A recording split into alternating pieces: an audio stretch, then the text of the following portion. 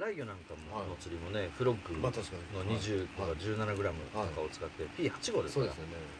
うん、8号直結で、でねやっぱライギョってね飛距離が正義なんですよ。うんうんうん。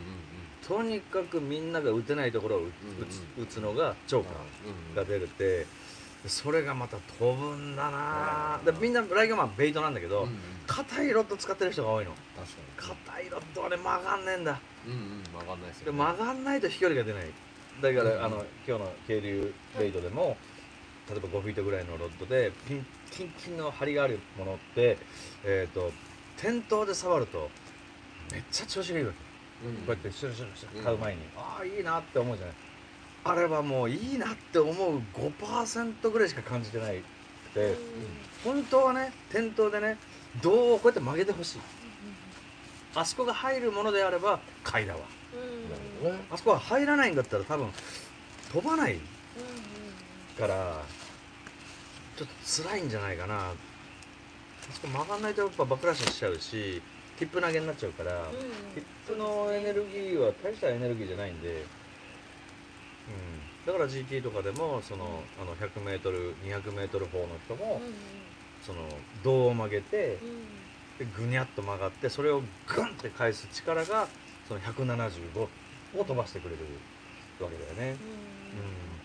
すごい世界でしょ。いやすごいですね。着水点見えないからねもうね、確かうん、200m 巻きがもうスプール見えちゃうんだから。にうん。すごいよ。とんでもないよとんでもない時代に2023年から入ったおおじゃあもうのうん。最近なの。最近ですね。すごい。あこれか。このかタレに反応してる人がいっぱいいますよ。ベル。あベル。ベルベルベルに反応してるっていうことは道民ですか？なんか。ベル初めて食べたけどすごい甘くて美味しかっ美味しいですよね。た、はい。もうあの道民はもう基本なんですよ。もうこれなの。支持全率が員持ってる。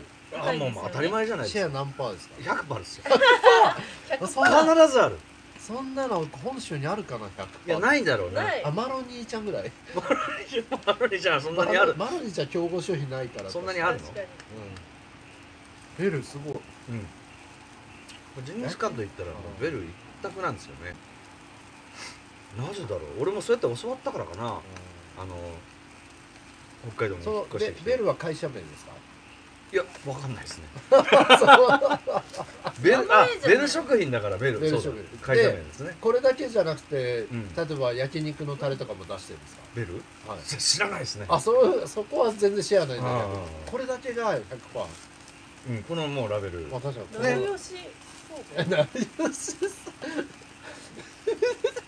ちょっともう一回言って言って仲ね良しそうかなるよさんが。あこれを？あなるなるみちゃんだから。へえあそれは面白いね。なるなるのく音読み。うん。これは？聖うん。聖吉えっ、とちょちょっとこうモンゴルっぽく。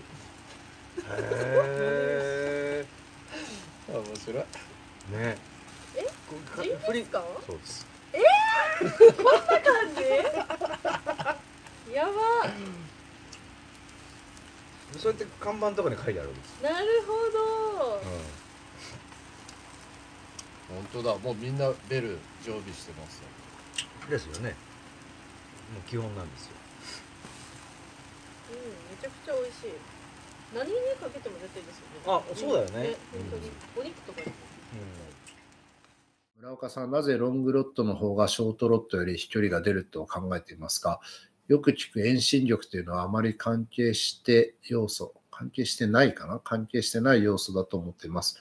どのような要素がロングロットが優位になっているのと考えているのでしょうか？最終的に、え飛距離が出るためには、えルアーを指から離した瞬間にルアーに時速何キロ、まあ、秒速何メーターのスピードでがかかってるかでほぼ決まると思ってます。でその後、まあ、放出の回転とかで多少変わるけれども、基本的には離した瞬間の速度でほぼ決まるんですね。だからやっぱり飛ばす人は、ショートロットでも飛ばす人は、えー短いロットで飛ばし遠心力ながら振り切るスピードとかそのタイミング、しなりとかの全部体うまく使って、パンと目いっぱい速度が上がった瞬間に指離して飛ばしていくのを覚えていくと思いますし、ただ、野球のボール投げるの考えてもらったら分かるんですけど、ここから手首だけでどんなに練習したって多分肘で投げる人よりは飛ばないし、肘で投げる人がめちゃくちゃ練あの筋トレして、あ、筋トレはまあまあケースバイケースだけど、鍛錬してね、肘、肘から下だけで投げる練習しても、多分、えー大きく振りかぶって手を目いっぱい使って投げる人には全く飛距離かなわないですよね。で、最終的に野球の選手のピッチャーとか外野手は大きく胸を開いて、一番大きな軌道でボールを放るっていうのは飛距離が一番出しやすいから、で、それは遠心力だと思うんですよね。で、ロットも同じように振り切れる範囲で、だから例えば、あの、じゃあ遠心力が長さで決まるなら、10メーターのロットを用意して30フィート、30 MMH とかをね、ブランジーノとかで作って投げたとしましょう。そうすると多分、俺ぐらいの筋力じゃ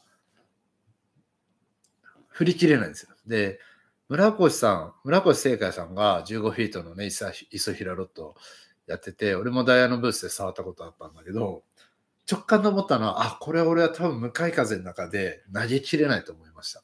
で、投げきれないってことは結局スピードが出せないんで、ルアーに初速が乗らないから飛ばないわけですね。だから、あくまで振り切るってことは竿が目いっぱいしなるってことなんで、竿がしならせられる範囲で、その人の体格筋力に合った一番長い竿が一番飛ばせる竿なんです。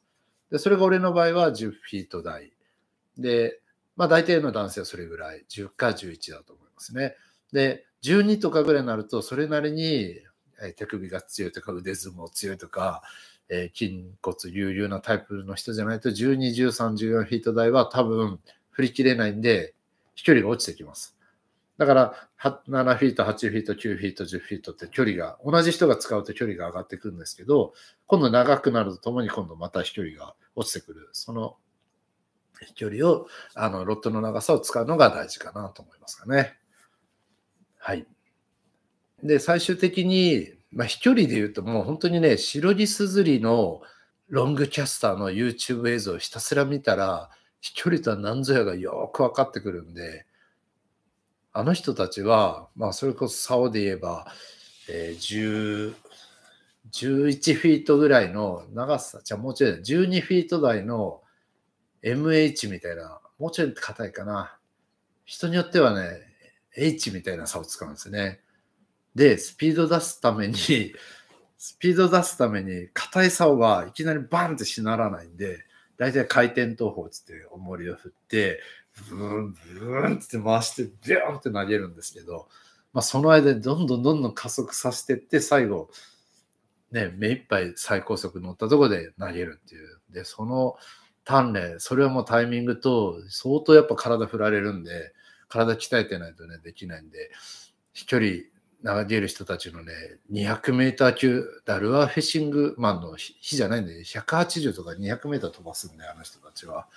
その辺を見るとね、よくわかりますね。はい。